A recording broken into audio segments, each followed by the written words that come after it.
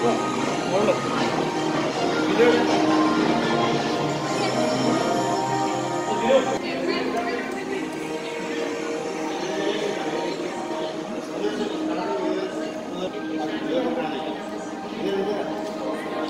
le cosas.